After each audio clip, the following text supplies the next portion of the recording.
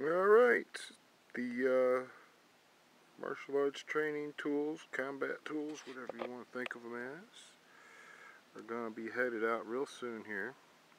So I wanted to document them because I'm going to miss them because I put so much time and energy into them that I, I, I'm just going to have to vicariously enjoy them.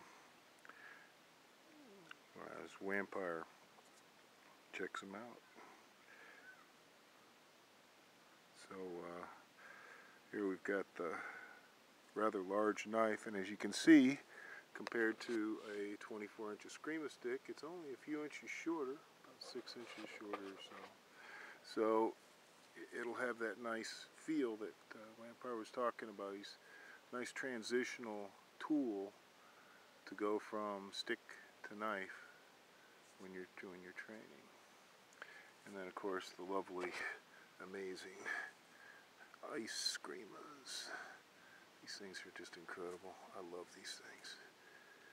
And uh, so uh, it's just some interesting tools to uh, to be involved with, and I really like it. I hope I get to make a lot more of these because they are just amazing looking.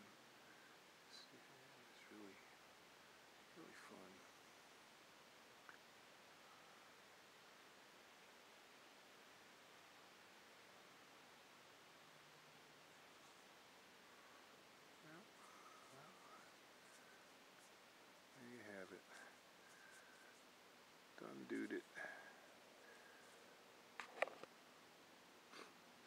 Yeah, it's interesting the things that uh, I end up making. I never really think about, uh, you know, hey, one day I think I'm going to make some acrylic Eskrima sticks. Just sort of happens, guys. And uh, just like I never thought I'd be making so many darn wax slug making tools. I've made hundreds of them. I wouldn't mind making hundreds of these, man. These things are awesome. They feel great. Alright then.